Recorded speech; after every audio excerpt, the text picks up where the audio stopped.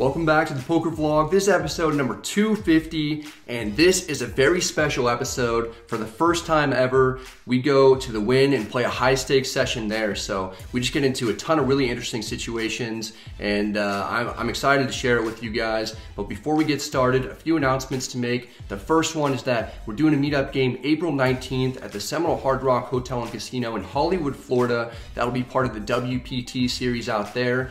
Then April 25th, we're doing a meetup game at the Lodge to kick off the Lodge Championship Series. And then I'm going back out to uh, the Hard Rock to play the main event um, April 28th through May 3rd. And then I'll be playing the Lodge Championship Series main event, which is a 3K, $2 million guarantee. That'll be May 10th through May 16th. So uh, try to make it out to some of those events. If you ever see me, feel free to say hi. And then one final thing before we get started is I just want to give uh, a big thanks to Public Rec. They uh, just sent me this shirt and they sent me a bunch of other clothes. I really appreciate it. I have a link down below in the description box to their site. And if you use the promo code BRAD15, it'll get you 15% off. So check them out. Um, I've been wearing a lot of shirts and uh, my favorite hoodies from them. They've been helping me uh, transition into dressing more like an adult, which I appreciate. So uh, check out their stuff, really high quality and really comfortable clothes. All right, guys, let's go ahead and get started. Hope you enjoy it. I'm in Las Vegas driving by the strip in my Bugatti because my nicer car happens to be in the shop. I'm not going to Bellagio like I usually would though. They're currently not allowing filming at the poker tables. Hopefully that issue will get sorted out in the next few weeks. Instead, we venture a little further north to the Wynn and Encore where the biggest game that's open to the public is currently running. The room here is the nicest one that I've ever been to, and the staff is top notch. It's also home of the WPT World Championship, where I got the biggest cash in my career, and the One Drop Series will be hosted at the Wynn in July. Honestly, I used to be a bit intimidated by this poker room when I first moved to Las Vegas, and I'm even a little nervous now, so I buy into the 5, 10, 20 game for $10,000. This game usually becomes higher and higher stakes as the day goes on. By the end of the night, it's not uncommon to see it become 50, 100, 200, with several hundred thousand on the table. I personally enjoy playing 2-5 or 5-10 the most, but I've always felt that it's important for me to push myself out of my comfort zone in order to improve. Plus, I wanted to do something that's special for episode number 250. We begin the session at 1236, just four-handed. When there aren't that many opponents, there's nowhere to hide. You have to get involved frequently and fight for pots. It makes poker more exciting, but also more nerve wracking. Right away, we're dealt ace king offsuit on the button. Getting off to a good start is key for me to keep the confidence up, especially after getting torched the last time I played in a bigger game at the Lodge.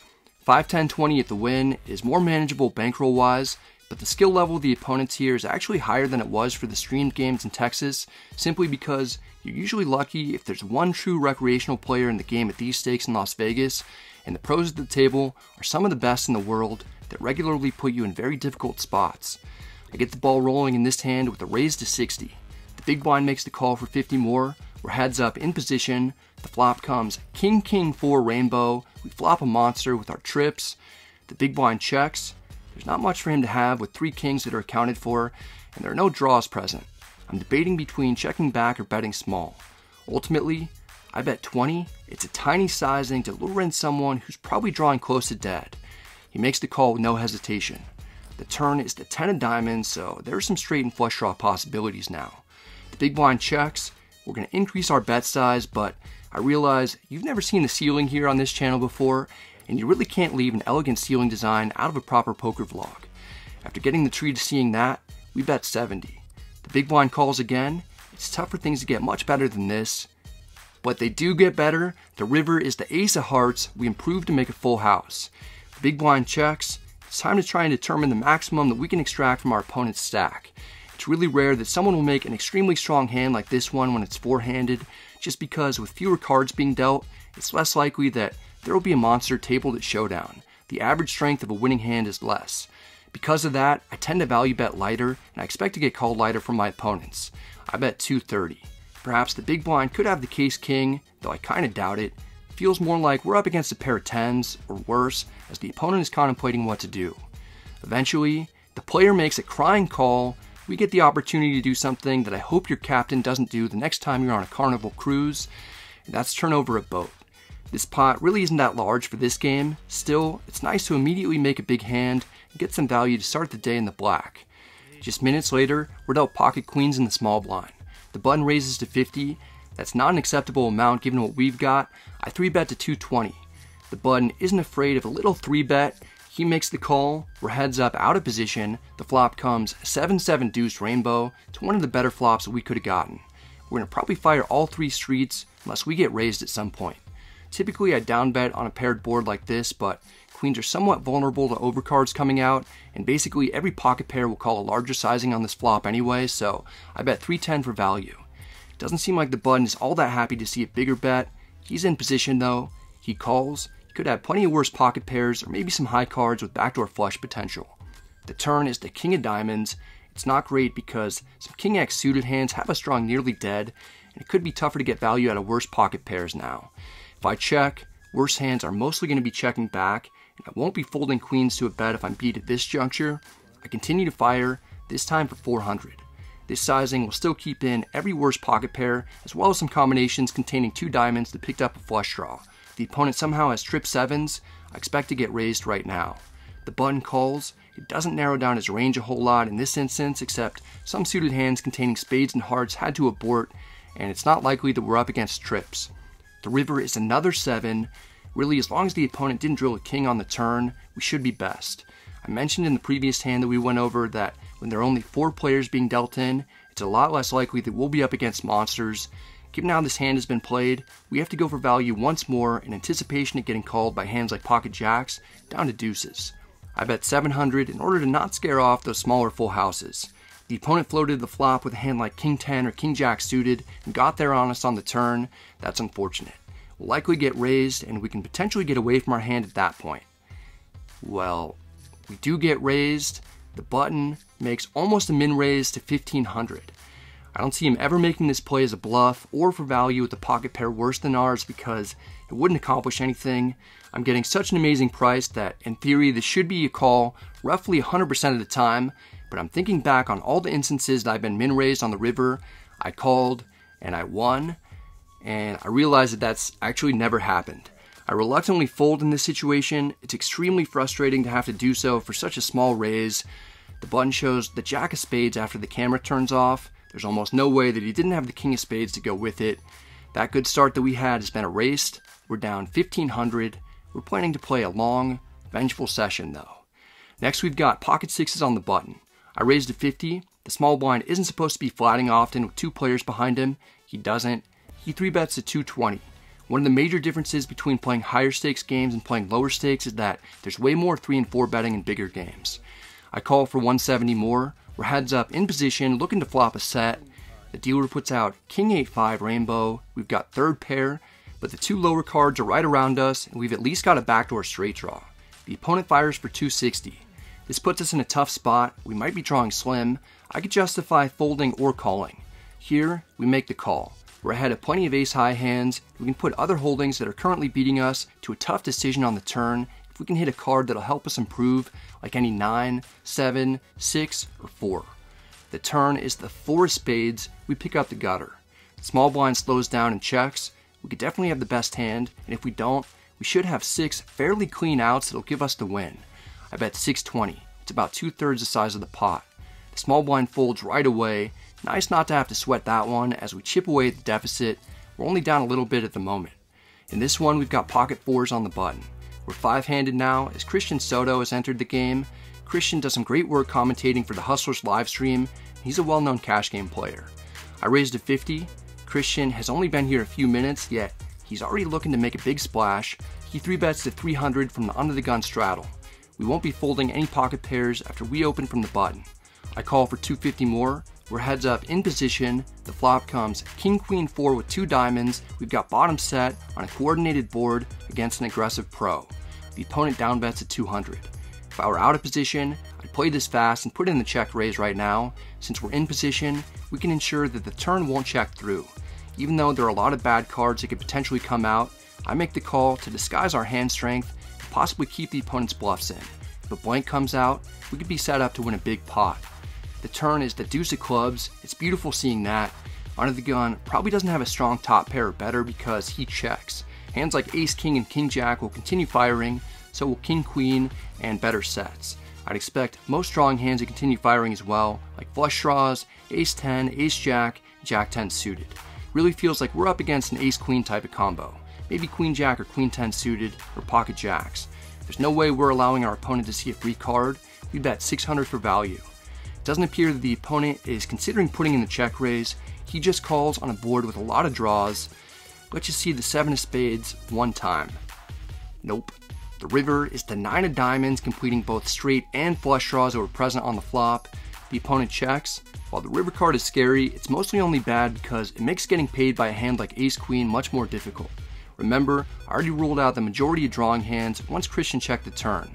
Also, going back to the idea once again that in short-handed games, I'll be betting lighter and more often for value with the expectation of getting called lighter. We have a clear betting situation. I make it 1700 to go if Christian doesn't want to wait until the vlog comes out to see what I've got. A shove wouldn't be something that I'd like to see, but it requires some huge cojones from the opponent since I'm gonna have a lot of flushes, straights, two pair and set combos after betting turn and river. My bluffs will mostly just be ace-jack offsuit hands that contain a diamond or a hand like 10-9 of clubs. After about 25 seconds, the opponent makes the call, we turn over our set, it's the best hand, we win a big pot to get us unstuck, but no amount of profit is safe in this game since the buy-in is uncapped and the stakes regularly get raised as players agree to it. This one feels great to win though, particularly against a talented opponent. Be sure to check Christian out the next time that he's doing stream commentary. We're up about 2,000 now, and the game is filled up. We've also increased the stakes. It's no longer 5, 10, 20, it'll minimally be 10, 20, 40 from here on out. We're now A7 suited in middle position, I raise to 100. The button calls, his name is Boston Jimmy. You may recognize that name from numerous live streams at the Lodge. Jimmy's been in multiple vlogs of mine, and he organizes this game at the Wynn. He's done a ton to bring a lot of action to this property. We're heads up out of position. The flop comes ace jack 5, all diamonds. We've got top pair, but it's bittersweet since we don't have a diamond, so this board is likely only going to get worse for us. I check it over to my friend. We won't be getting a free lunch. The button bets 130. I don't hate the idea of even folding at this point. Against certain opponents I might. It just feels too weak to do that though. I call rooting for some card. Not really sure what I need. It's possible the 10 of diamonds might be the best for me so I can justify folding to another bet and get out with minimal loss. Instead, the turn is the 4 of hearts. It's a brick. I check. The button can keep the pressure on with a bet to make my day worse. Despite him being a good guy, he does make my day worse as he fires for 320. Boston Jimbo, you're killing me, dude. Our hand should actually be a pure fold at this point. We can definitely be drawing dead with our one pair. We have very little chance of improving, and even if we do, there's a high probability that we'll still be beat. I just can't get myself to lay it down. I make a bad call. The river is the queen of hearts. I'm in no man's land, wondering if that's a good card or bad card for me. I check one last time, expecting to face a large bet. Instead, Jimmy checks back. We turn over our top pair without a strong kicker, it's good enough to win it. Jimmy did well to keep putting pressure on me and continue to put me in a tough spot, but I was too stubborn and sticky. Even though I had the best hand the whole time, I made a call that's actually a mistake. Yet I was rewarded for it. Sometimes that's just how poker works out. Here we've got pocket fives in middle position. I raise to 100. This won't be a single raise pot. The hijack three bets at 330. You've got to have a lot of heart to play these stakes because people will constantly be putting you to the test. I call, we're heads up out of position. Flop comes ace 4-3 with two clubs. No set, but we've got a gutter at least. I check figuring there's a good chance that we face a bet. Not this time. The opponent checks back. Maybe he doesn't like the ace either. The turn is the seven of spades, giving us a double gutter. The opponent is a good pro. He knows that when we raise and flat his three bet, we'll have a lot of aces in our range, as well as small to medium pocket pairs that'll connect with this board.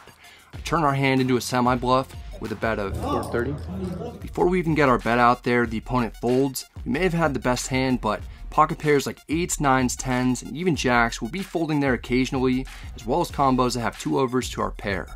This wasn't a super exciting hand, but I guess it's just interesting enough to make the cut. It's not gonna make the Someone vlog. takes the needle. it's not. Somehow it does make the vlog, and this one does too, as we've got pocket kings under the gun plus one while the stand-up game's going. The loser has to pay everyone $100. By some miracle, I managed to win my seat already. Several players are still standing though. I raised to 140, which is more than I normally raise to, but I need to charge a premium since I know people will be calling me with wider ranges in attempts to try and earn their seats back. The button calls. This gentleman is either still trying to earn his seat back, or maybe he's building up his endurance to be a human billboard at a busy intersection if poker doesn't work out. The straddler also calls. He's a stander as well, not to be confused with a walker. We'd be in a lot more trouble if there were zombies at our table. We're going three ways to the flop. It comes Queen 10 8 Rainbow. We've got an overpair, but two opponents. It's a very connected board. The player on our right checks. I check it over to the button. He bets 220.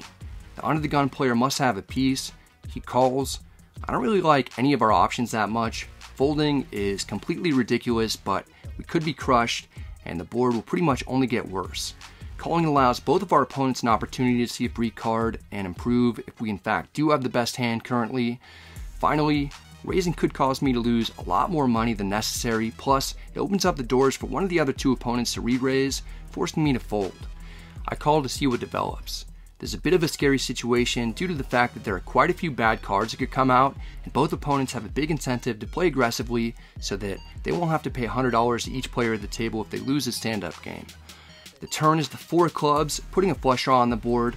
The under the gun player checks. I'm not very concerned about him having us beat since he probably would have check raised the flop with two pair better. I check to the button. What he does now is going to give a big indication as to the strength of his hand. If he checks back, we almost for sure have the best hand because he won't be checking two pair better here. If he bets after two players have called him on the flop, we'll have to be much more worried that we're up against a strong made hand. Luckily, the button checks back. I'm very happy about that. Now I'm really rooting for a blank. The river is the Four of Hearts. It's a terrific card because in the off chance that one of the other opponents flop two pair, they just got counterfeited. Plus, they'll have a hard time folding a queen to a bet. Under the gun checks. I don't see how he could have our overpair beat. No one should really expect us to be as strong as we are. We have two candidates or people that we could potentially take to Value Town, plus a check through on the turn, opening it up for me to turn a lot of hands into bluffs. Under these conditions, I like to go with larger sizings than usual. I like big bets, and I cannot lie, I make it 1200. It's more than the pot. If people want to go to Value Town, they're going to have to pay a premium for it because the weather's just really nice this time of year, so the demand is high. Plus, I can't really take that many people, so the supply is low. The button has other vacation plans. He folds. Under the gun player is trying to piece our story together. Maybe he's contemplating putting in a raise as a bluff since I'll pretty much never have trip fours, whereas he could. I doubt that he checked trips on the river after it checked through on the turn, so I'll be calling if that's what he decides to do. Ultimately, he folds. Would have been nice to get paid there, but it isn't the first or the 15th. We still at least win a nice sized pot, it's been pretty smooth sailing so far outside of the queen's hand earlier on.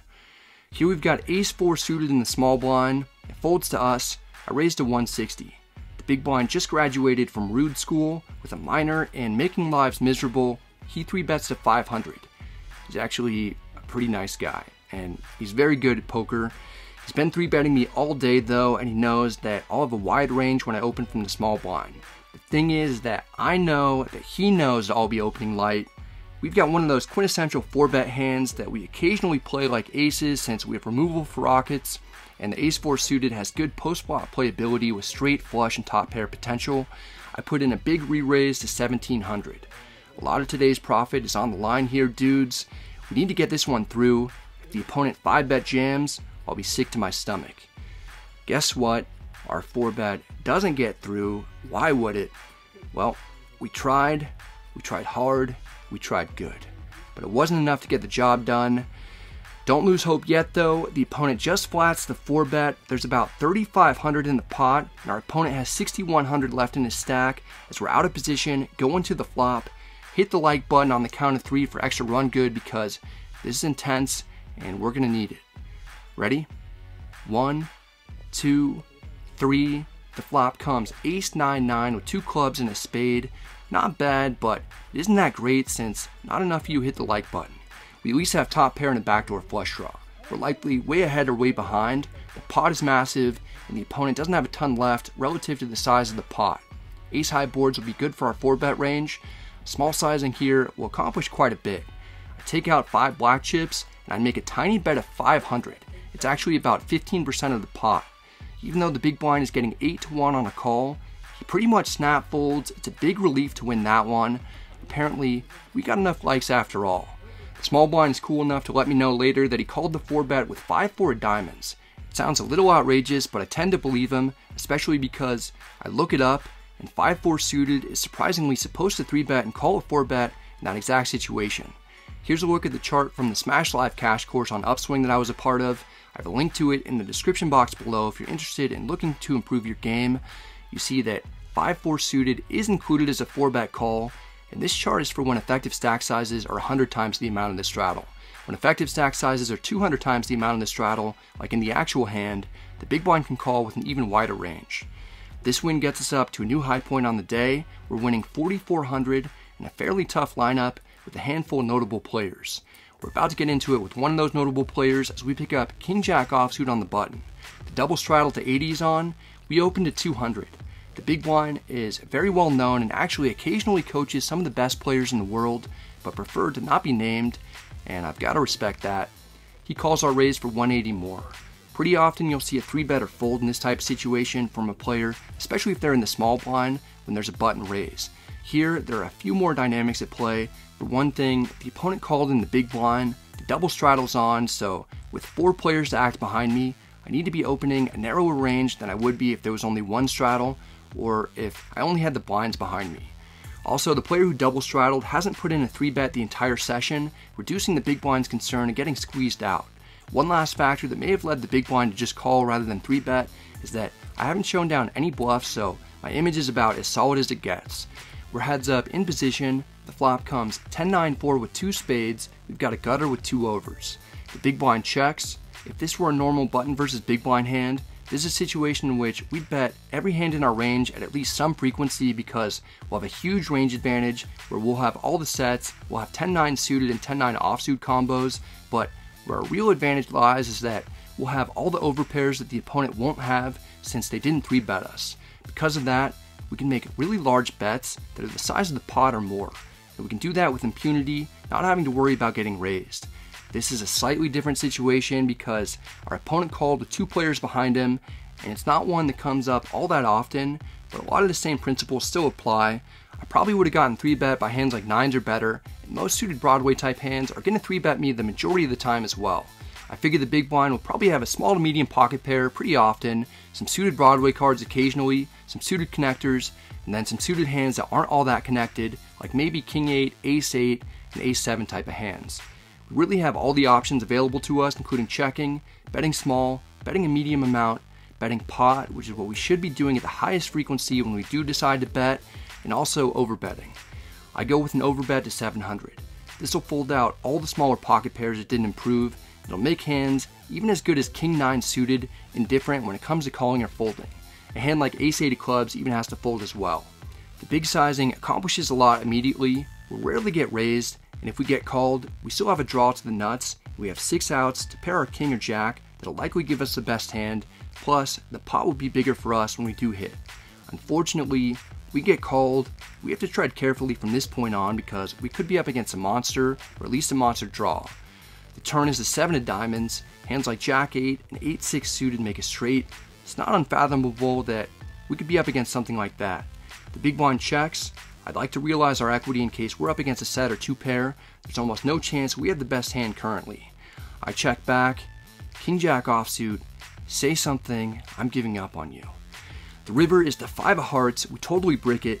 The big blind checks might be able to get ace high hands with missed flush draws to fold or hands containing a 9 to fold, but we aren't getting a 10 to fold. I check back, the big blind shows that he outflopped us with king 10 of hearts. It's a hand that I expect him to 3 bet maybe two thirds of the time under the conditions we were in. We ran into the one third of the time when he calls, and he happened to get a good board run out. Here we're dealt king queen offsuit under the gun plus one. We're going to be playing it, though it's the worst offsuit king that we'll be opening from this position. I raised to 100 The cutoff is the only color. It's the same opponent from the last hand. We're heads up, out of position. The flop comes Queen Jack 7 Rainbow. We've got top pair with a good kicker. We could bet or check. I check to the in position player. He wagers 110. We'll be going nowhere for that price. I call. The turn is the 8 of spades. Not great since 10-9 makes it straight and ace 10 picks up the double gutter.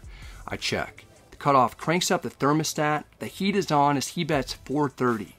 You typically want to avoid these types of situations in which you have a medium strength hand that's unlikely to improve and you're out of position against someone who's putting a lot of pressure on you with big bets. This is what you have to prepare for when you're in these big games against good players though. I call again, not knowing if I'm ahead, drawing dead, or somewhere in between. The river is the ace of clubs. It's another card that I don't think I wanted to see since we're downgraded to second pair and some bluffs like ace 10 and king 10 stole the lead from us. I check, the cutoff must not like the ace either. He checks back, I'm glad to see that. We turn over king queen offsuit, thinking that it could be best. It's not. Cutoff has queen jack offsuit. He flopped top two pair and held on for the victory. We're still winning, but our stack has been going in the wrong direction the last few hands. In this one, we've got 9-6 suited in the $40 straddle. The button raises to 120. We're going to be defending basically all of our suited hands. I call for 80 more. We're heads up out of position against another good player. The flop comes 8-6 deuce rainbow. We've got middle pair and some backdoor draws. I check to the button. This situation is actually one that I described earlier when it's a button versus the person who's closing the action pre-flop, whether that's the big blind or in this case me and the under the gun straddle, and the flop comes 8, 9, or 10 high. The button has a big range advantage and can overbet pot with impunity. Like I said, the button is a good player. And he knows that he can bet pot or more than pot if he wants to. He goes with a bet of 440. It's over one and a half times what's in the middle. It's a massive sizing. I know that he's capable of doing this with complete air or really anything that has a backdoor draw of some sort. Still, puts me in a weird spot because our hand is too good to fold, but it's not all that fun to call with since we'll have to fold on a lot of turns if we face more pressure. Proper strategy would be calling the vast majority of the time, while mixing in check raises about 10% of the time. Now, in order to determine whether we'll be calling or if this is one of the 10% times that we'll be check raising, I go through a very standard process amongst elite pros. I select 10 random numbers between 1 and 100 in my head, then I roll an imaginary ball onto a very large imaginary roulette wheel containing 100 numbers. Wow, would you look at that? The ball landed on 59, which happens to be one of the 10 random numbers that I selected in my head. Looks like we're going the aggressive route, boys. Nice. Whoops. Right. Fold.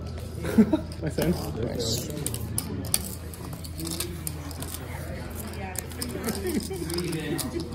Have plans for future operation. Thank God for the imaginary roulette spin. We got the snap fold after raising to 1100. After turning off the camera, the opponent tells me that he had Jack 10 and he was planning to bomb it if a Queen or 9 came out. I told him a 9 would have made it fun. That's the last interesting hand of the session. Time to rack up a nice high stakes win.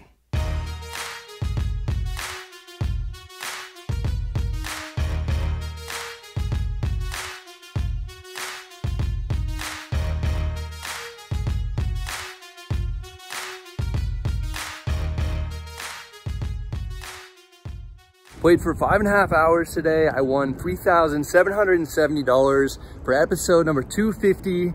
Uh, that was a fun session. I mean, a really good group of guys and uh, made some big hands. Kind of kind of some really interesting spots. And uh, some of those guys are, are, really, really good players. So it was cool to mix it up with them and um, ran pretty well overall. I think I was stuck 1500 at the low point. And then uh, that was early on after that Queen's hand. And then just you know, made some hands, had, you know, some, some kind of fun bluff opportunities and uh, just happy with the session overall. That's it for this one. I hope you enjoyed it. If you did, I'd appreciate it if you hit the like and subscribe buttons. It helps out the channel a ton. If you have any questions or comments, feel free to let me know in the comment section. I'm happy to get back to you. Uh, this, uh, it's hard to believe that I put out 250 um, episodes at this point. And uh, I just want to say I really appreciate you guys, whether you've been here since the beginning, six and a half years ago, or you know you just you're just checking out my channel for the first time. Um, it's been a blast. It's opened up a ton of opportunities with the lodge and WPT and everything like that. So I really appreciate all the support throughout the years.